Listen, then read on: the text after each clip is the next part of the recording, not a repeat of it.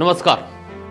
आगामी दिनों में आने वाले हरियाणा विधानसभा चुनावों से पहले सियासी गठजोड़ की शुरुआत हो चुकी है। पिछले 10 सालों से काबिज भाजपा को इस बार कई चुनौतियों का सामना करना पड़ेगा। दरअसल हरियाणा में चाहे किसानों का मुद्दा हो या पहलवानों के साथ ही महँगाई और बेरोजगारी जैसे मुद्दों पर तो विपक्ष सरकार को घेरने की पूरी तैयारी में है।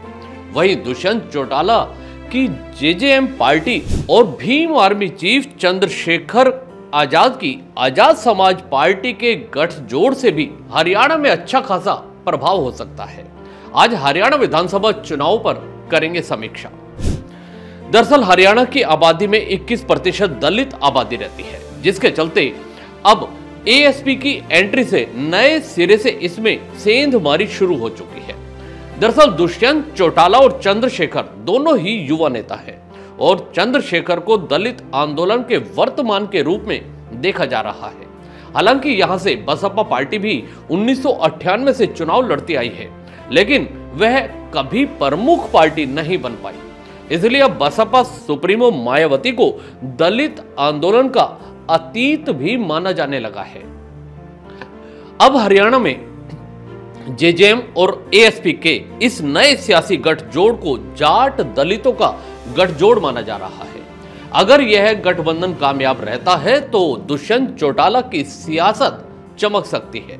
दोस्ती नई ज़रूर हो। विचारों की दोस्ती बहुत पुरानी है।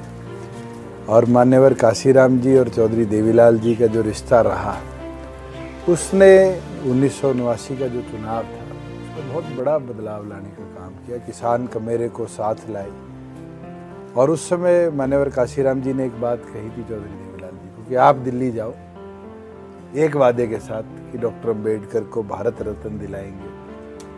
और चौधरी देवीलाल जी ने जब देश का नेतृत्व किया, वो प्रधानमंत्री बने वीपी सिंह जी की सरकार में। उस समय डॉक्टर अंबेडकर को भारत रत्न तो 1990 में दिलाया।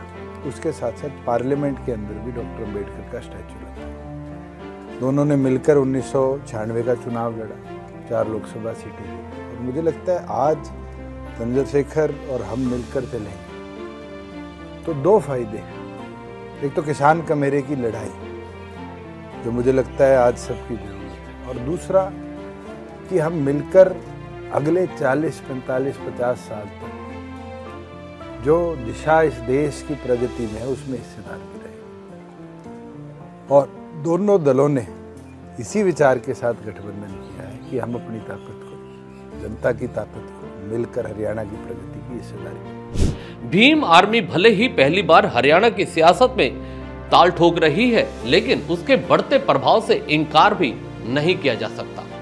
भीम आर्मी चीफ चंद्रशेखर आज़ाद उत्तर प्रदेश की नगीना लोकसभा सीट से जीतकर सांसद बने हैं। चंद्रशेखर आज़ाद दलित समुदाय के बीच तेज़ी से लोकप्रिय होते जा रहे हैं। उनका क्रेज पश्चिमी उत्तर प्रदेश से लेकर हरियाणा, पंजाब और बिहार तक है। ऐसे में बहुजन राजनीति के नए चेहरे के रूप में उभर कर आ रहे हैं चंद्रशेखर आज़ाद। देखिए पिछले सात आठ साल से हरियाणा में भीम आर्मी के लोग काम कर रहे हैं। लोकसभा चुनाव में हमने सभी लोगों को मौका दिया कि वो लोग लड़ें, क्योंकि वो देश स्तर का चुनाव था। असेंबली चुनाव में और लोकसभा चुनाव में बहुत फ़र्क है। हमारी पार्टी ने वहाँ लंबे समय से तैयारी की है और अच्छे, मज़बूत काम करने वाले, जिनकी खुद की पहचान है, क्षेत्र में जिन लोगों ने काम किया है ऐसे अच्छे प्रत्याशी और भीम आर्मी आज़ाद समाज पार्टी का संघर्ष हमारे साथ। वहाँ की स्टेट की टीम ने मजबूती से जिला विधानसभा बूथ सेक्टर का संगठन बनाया, उसके ज़रिए हम लोग चुनाव लड़ेंगे। और मेरा विश्वास है कि आज़ाद समाज पार्टी और जो अलायंस जेजेपी के साथ हमारा हुआ, मिलके जो है, एक मज़बूत विकल्प जो है, हरियाणा में बनेगा ऐसा मेरा विश्वास है। वहीं दुष्यंत चौटाला जाट नेता है। हरियाणा में जाट आबादी करीब 25 प्रतिशत है। वहीं दलित समाज की आबादी करीब 21 प्रतिशत बताई जाती है, जिसमें करीब 15 सीटें दलितों के लिए आरक्षित भी है। दलित वोटरों को रिझाने के लिए दुष्यंत चौटाला का कहना है कि जब चौधरी काशीराम ने दिल्ली में विरोध प्रदर्शन किया था, तब चौधरी देवीलाल सबसे पहले आए और उनका समर्थन किया था। उस समय काशीराम ने मांग की थी कि बी आर अंबेडकर को भारत रत्न से सम्मानित किया जाए। जब देवीलाल उप प्रधानमंत्री बने तो बी आर अंबेडकर को न केवल भारत रत्न से सम्मानित किया गया, बल्कि संसद में उनकी प्रतिमा भी लगाई गई थी। दुष्यंत चौटाला की पार्टी ने 2019 में 10 सीटें जीती थी और भाजपा के साथ गठजोड़ कर त्रिशंकु सरकार बनाई। बाद में उन्होंने भाजपा से नाता तोड़ लिया। अब एक बार फिर दुष्यंत ने चंद्रशेखर के साथ गठजोड़ कर सियासी पारा तो बढ़ा ही दिया है। दुष्यंत चौटाला ने अभय चौटाला के इंडियन नेशनल लोकदल आई से बागी होकर जन नायक जनता पार्टी बनाई थी। अब ऐसा माना जा रहा है कि आई और बहुजन समाज पार्टी में फिर गठबंधन होगा। इसके जवाब में दुष्यंत ने आज़ाद समाज पार्टी से गठबंधन कर लिया है। हरियाणा में बीजेपी सरकार से किसान नाराज़ है, पहलवान नाराज़ है, सरकार के प्रति बेरोजगारी को लेकर भी गुस्सा है। दुष्यंत चौटाला और चंद्रशेखर आज़ाद दोनों नए चेहरे हैं। इसलिए दोनों युवाओं में वह खासी लोकप्रियता भी बटोर रहे हैं। देखने वाली बात यह है कि हरियाणा की जनता इस नए गठजोड़ को अपना समर्थन देती है या नहीं।